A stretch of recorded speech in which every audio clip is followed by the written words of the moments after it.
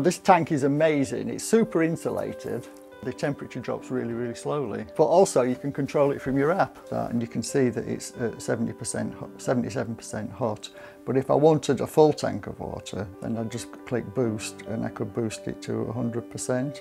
Set there and you just heard it come on. The yellow there is uh, the cold water which is going to heat up now.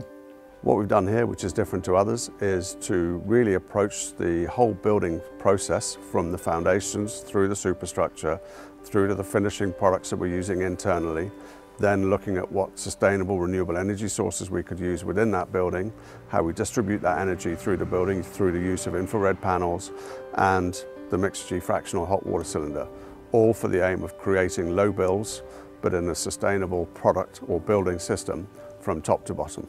So that's, uh, that's all, all of our usage. I fired the kiln last night. Uh, I make pottery and I, uh, I did the washing machine, the dishwasher and the tumble dryer and uh, I heated the tank of water and that's how much it cost. Yes, which is like £3.50. Mm.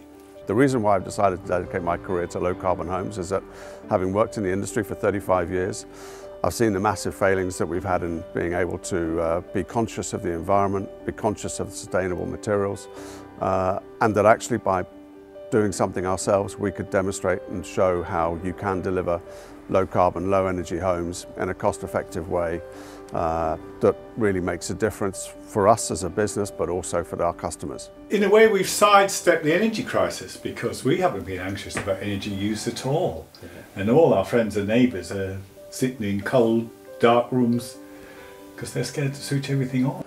We were working with a company called Wondrwall which uh, in essence takes the energy through solar power, drops it into a battery powered storage pack which then is distributed through its very intelligent lighting and heating system. So between the Wondrwall and the Mixergy and the solar power generation created a great solution for us. This, this was a great development because this is actually a net zero development, so there's no gas on this um, development. Everything is an all-electric solution, um, and a part of that is the solar, the battery, and the Wondrwall's um, home energy management system, um, and, and is a part of that mixture.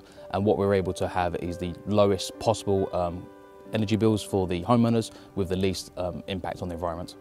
The reason why we do what we do is because in every small way that we can make a difference by utilising forms of modern methods of construction or different forms of insulation or different products, we can drive down zero carbon. Construction is the greatest uh, emitter of, of carbon. So I really believe that if we focus on these sustainable low carbon technologies, systems and products, we'll be able to create low carbon homes that will be enjoyed for generations to come.